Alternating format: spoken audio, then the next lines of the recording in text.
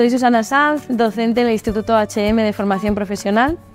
Debido a la situación demográfica y social actual, eh, los técnicos en radioterapia y dosimetría se ven como una figura primordial en el tratamiento y diagnóstico de diferentes tumores en la población, acompañando al paciente en todo su proceso e investigando en futuras técnicas eh, que puedan ayudarles con sus patologías. El grado superior de técnico en radioterapia y dosimetría vais a poder aprender todo lo que está relacionado con el tratamiento, incluso diagnóstico de, muchos tumores, cánceres o diferentes patologías.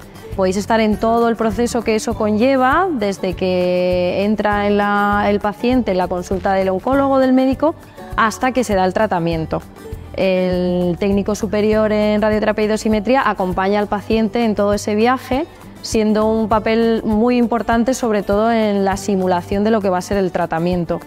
Es decir, antes de hacer ese tratamiento, cómo tenéis que, fijar al paciente en una posición, la dosis de radiaciones ionizantes que se le tienen que suministrar, etcétera, hasta el día del propio tratamiento. El técnico de radioterapia y dosimetría es un papel fundamental en todos estos procesos y en el tratamiento con radioterapia en cánceres, etcétera, porque lo acompaña en todo el proceso y, sin esa parte no sería posible.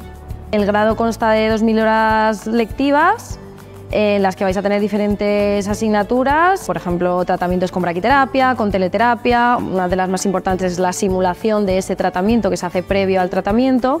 Algo de lo más característico que puede ser este grado es que desde el principio vais a tener conceptos aplicados. Vamos a dar una parte de teoría pero muchos de, mucha de la teoría se va a ver directamente en el servicio, directamente en tratamientos con pacientes. Una ventaja muy grande de hacerlo con HM Hospitales es que los profesores pertenecen a un equipo multidisciplinar en el que muchos de ellos son los propios técnicos.